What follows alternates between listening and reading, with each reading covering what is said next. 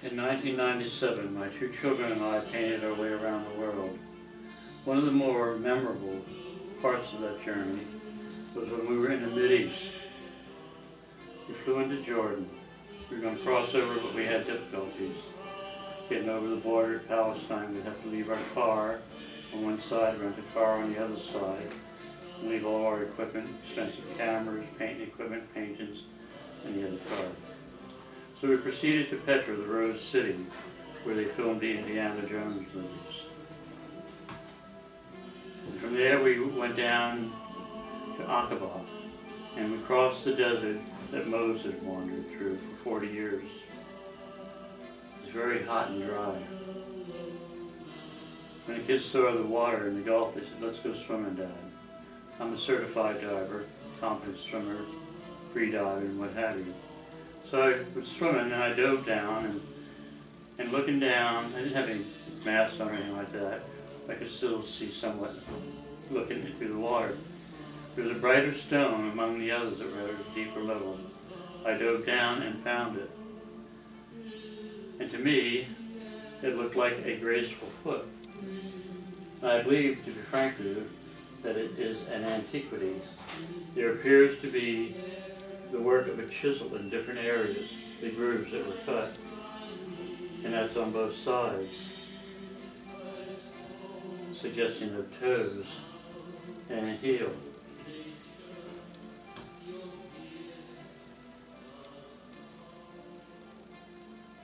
I was to give this to my mother-in-law, Jean Kaiser Radoslovich.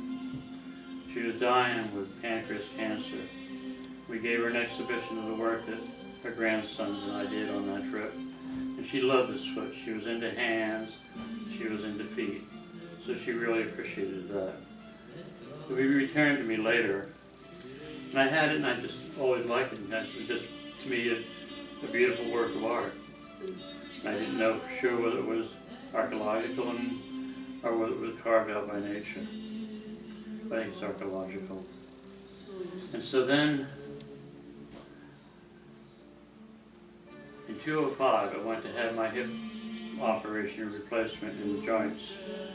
I did not check the compression hose for close to a week. And this large area of necrotic tissue. People lose their legs when that happens. That whole area, the skin had died and the flesh gone down deep. Fortunately, I survived that. I believe at that time I also had a touch of staph. And the pain with staph is very unique and you never forget it.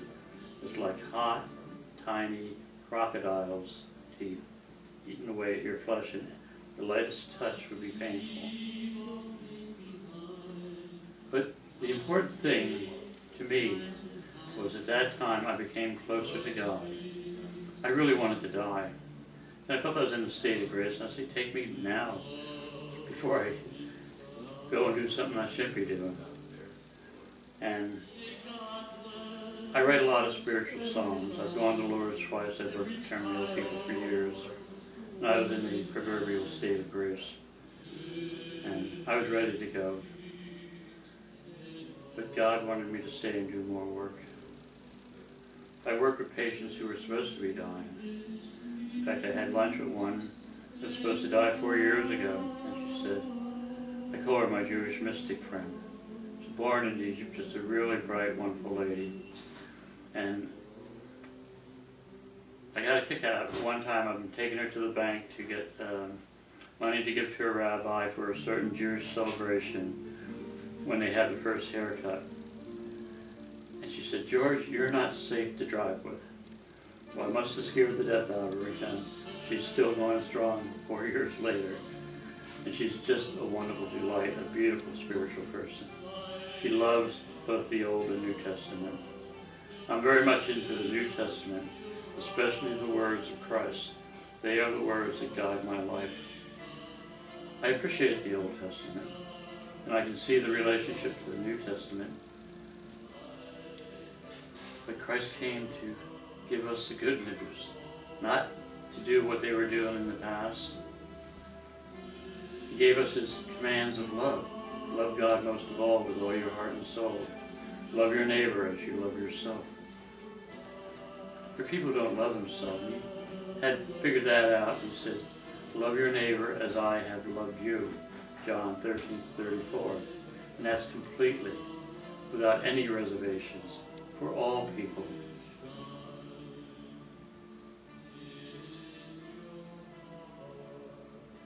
He's given me some gifts, I believe, that, and among them is something I call the gift of discernment, where I feel God's presence in people.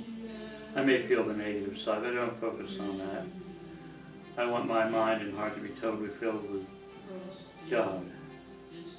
There's a big difference between the gift of discernment, where you can sense with joy when God is present in someone else, and the energy goes back and forth, and you both are having this feeling, the sense of God's presence in both of you. There's something else where they say you should discern things. People who are into discerning right from wrong, they end up being very judgmental. They see the devil in everywhere.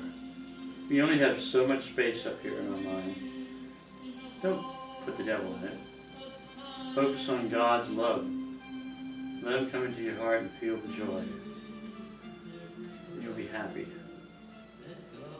And you will reach out with smiles and cheer people up. You will pray with them, and they will pray with you. And you'll walk in the light of the Lord. So if ever you're in pain, offer your pain up for people who are more in pain. When I went to the Lord, as I used to say, Take me, Lord, and let them live. They're normally younger than I am. Well, never took me. I had work that I had to do. But those people would be saved. I do prayer paintings, and quite often it's a lone cypress, but I have one up here. And the young lady is very ill. Kind of gifted me with the concept of somehow that tree that stood alone in storms and what have you, and survived, was special. And sometimes you will feel like you're alone, but you're not alone. That tree was also with God in His own way. So be with God, feel the joy, share that joy. Have people, especially when it's their time to, to go, bring them back to God, to the God that they know and love. Have them feel the love of God in them. God loves them. God bless every land, like the song, every child, every man, with his peace and love.